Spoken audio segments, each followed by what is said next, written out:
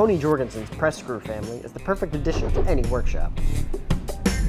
These press screws can be turned into customizable presses, vices, and clamps. There's no limit to what you can do.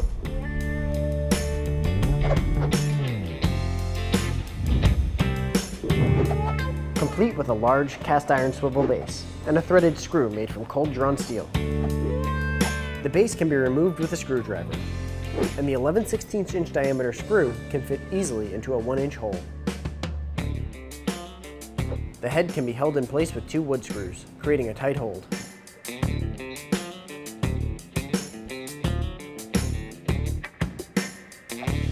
The swivel base is 1 and 3 8 inches wide by 1 and 5 8 inches long, providing an even clamping force over a wide surface area.